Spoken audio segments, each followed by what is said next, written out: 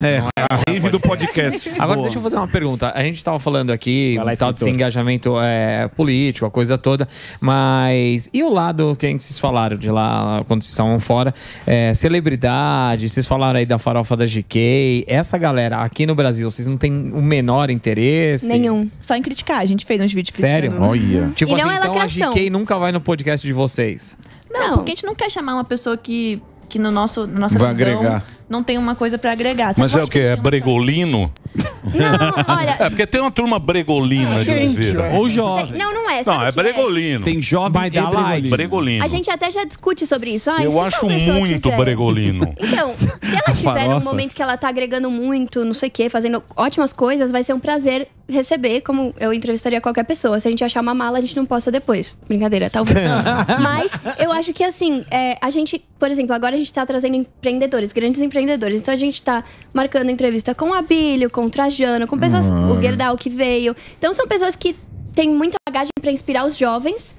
Né? Eu, eu acho que é algo que assim. Leva o lema lá, pergunta onde é que tá os Sim. 40. É, pergunta se tem ovo da- ovo de Páscoa para as americanas. Cadê? Agora, Onde é que assim, tá os que será que 40 é? bi? Eu fico pensando o que a GK influenciaria de bom pra nossa geração. Não sei. Então não sei se eu quero ter esse papo com ela. Tem muitos podcasts que tem, então acho que tem muito conteúdo dela. Então, mas, mim. mas entretenimento é bobagem, né? A gente não pode levar entretenimento. É que assim, se você pegar o Google, conheço muito pessoal do Google. Ok, Muito Google. educado. Cabelinho. Pessoal muito educado. Gente boa. Google é o seguinte: você coloca primeira pesquisa, sexo, segunda política. Certo. A terceira é sexo E o terceiro na é sexo na política. Então, quer dizer, é, política hoje em dia tá muito na, no, no, no hype, né? Aham, tá, tá. Tá muito no hype política. Esse negócio de entretenimento, não sei se é muito. Não, mas Acho a- que não acontece. Big Brother ninguém Então, mas vê. parece que É, vocês, vocês metem É, o Emílio. 10 anos. Além já. de entrevistar, Mas vocês metem o pau poucos. também no Big Brother. Vocês falam da Globo, A gente faz vídeos Hits. sozinhas. E Tá. aí a gente fica, tipo, dando a nossa opinião, né? Que sobre a GK, sobre a Anitta, sobre essas coisas todas. Porque a gente acha que eles recebem muito palco e tem pouco a oferecer, assim, né? Em questão de só. Não, a Anitta é boa. É, na visão de alguns. Anitta. Hã? É, a Anitta é boa. É boa. Mas, mas É. poucos Pô, brasileiros Grammy. conseguiram uma projeção. Não, ela é Não, boa. poucos não, A nem Anitta é Chegou boa. lá. É, então, Anitta. você pode Anitta gostar é top. ou não. Agora, tem umas coisas que não dá. Tem uns negócios que não dá, mas é entretenimento, né? Não, sim, mas então, tem muita gente muito boa falando com eles e fazendo Ah isso. O nosso, o nosso propósito acho que é outro, sei lá. Talvez um dia, não posso falar que nunca, né? Eu não sei. Não, Vamos é ver. que também o entretenimento hoje em dia, ele, ele preza menos o talento do que antigamente. Eu sinto que, bom, a gente sempre vai romantizar o passado também, né? Tipo, ah, antigamente as coisas eram melhores. Como se a gente fosse ve- velhas, É, né? Mas eu sinto que o entretenimento antigamente você requeria um, um talento verdadeiro. Mas é, né? o- Assim. mas é esse negócio aqui que passa muito rápido. É, você por enjoa exemplo, rápido. Por exemplo, a gente existe há três meses e meio. E a gente viralizou. Fazendo pequenos vídeos, assim, que hoje em dia é muito mais fácil você viralizar. Antigamente, no YouTube, as pessoas demoravam três anos pra conseguir 12 mil inscritos. Hoje em dia, você consegue fazer shorts no YouTube, que é como se fosse um TikTok ou um Reels. Sim. E isso aí viraliza. Então a gente conseguiu tudo isso em quatro meses, que não é normal. Então hoje em dia é muito fácil você ficar é, famoso, você ficar conhecido.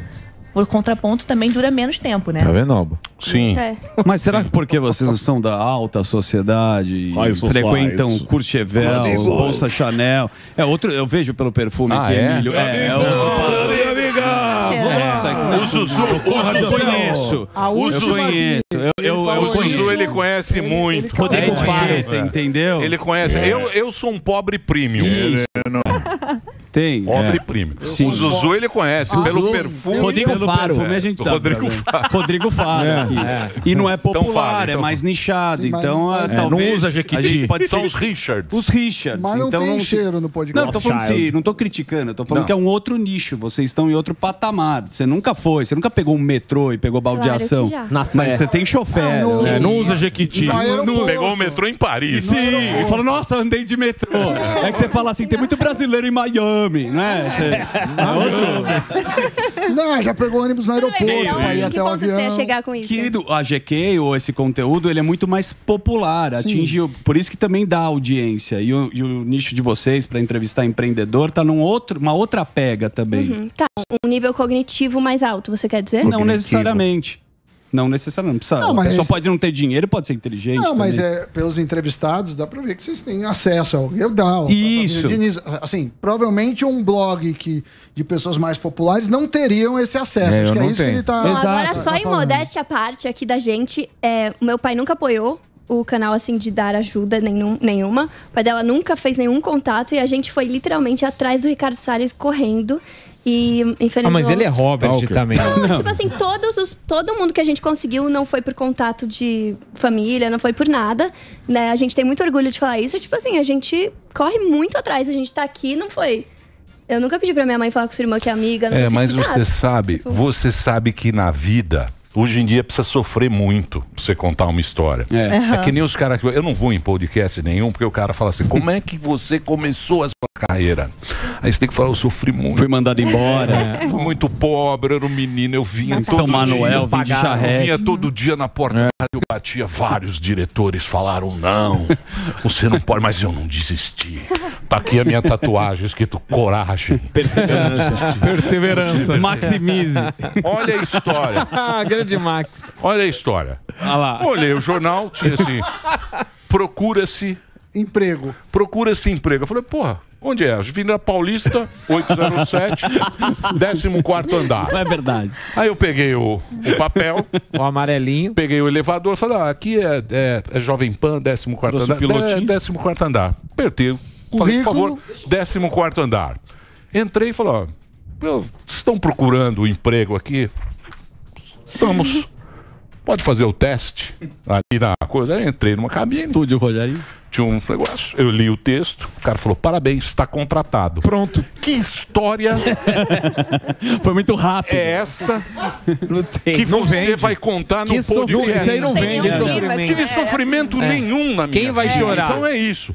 O cara que tem um pouquinho mais de coisa, o cara fala, "Véi, isso não presta. É. Mas não é. É o que você tá falando, entendeu? tipo, mas- mas... não liga pra isso. Mas Dane-se. eu não acho. Não, mas não é essa. Dane-se. Eu Mas fui é. na Globo antes de abrir o podcast, fui tentar uma carreira lá. Né? Atriz. E a minha história triste, não, eu queria ser âncora, sempre quis ser Ah, âncora. é fácil e pra ela, começar. E uma pessoa, não, não direto, queria, Ah, eu falei, tá. eu entrego café, não tem problema. A mulher falou, posso te falar a verdade? Você não tá na moda. Você tem um rostinho assim de menina de perfume, Sandy. né? Na moda? Ela falou, você não tá na moda, não vai, não, não, é, Precisa não ter vai os dar cabelos azul. Eu acho que eu tinha que ter, sei lá, pelo no sovaco, sei lá, alguma coisa estranha. um- A estética, uma- né? uma- A estética. Bom, quer saber? Então Mas vamos isso lá, não baby, diminui. vamos abrir o nosso negócio É. aqui. Não, não diminui o esforço. Acho que eu fui extremamente Você foi delicado. indelicado. Foi Delicado, não foi- ficar não é demérito cafungando. ter Não é demérito ter Contato, contato e, e eu tenho certeza que nem vocês ser- correram ser atrás bem do podcast de vocês e até se, É, o- se a gente pudesse Mas usar a- contato, seria o que maravilhoso. eu queria, gente não o que eu queria precisou. falar era realmente em relação ao nicho, por isso vocês entrevistam É. os empreendedores. Agora, você também não era, você, Babi, era de mercado financeiro. Baby. Baby, desculpa. Aham. Não, na verdade eu queria trabalhar em venture capital, né? Eu queria trabalhar com tech. Venture capital. Olha lá. E aí, venture capital. Bolas e aí, é, bom, acabou que eu falei, não, eu quero fazer, eu tenho curiosidade de muita coisa, então eu quero falar sobre tudo. Eu quero poder falar sobre política, sobre agro, sobre empresas, entretenimento e tudo. Mas eu acho que, assim, voltando à sua pergunta, eu, eu acho que eu entendi o que você quis dizer. Sim, a gente é, veio de um padrão de vida muito bom, a gente tem acesso a muitas coisas. O estúdio, por exemplo, a gente usa emprestado de um banco. Então, tudo isso facilita muito, é claro. É, e eu acho que isso. Então, ah, tem um nicho, né? Porque não é todo mundo que quer ouvir o Gerdau. falando, Sim, né? exato. E a O gente, e a gente quer ir lá no podcast. Você, Com o maior prazer. você quer? Quinta-feira. Eu vou chamar, então. Vamos lá. Então tá. Vou Vai lá. Zuzu. Vou lá, Quinta, eu, três da tarde. Zuzu vai me representando. Gente, Zuzu. Eu vou com o Emílio. Mas a gente começou falando assim, bom, a gente quer, sabe, mudar a vida dos jovens, não sei o quê, a gente quer.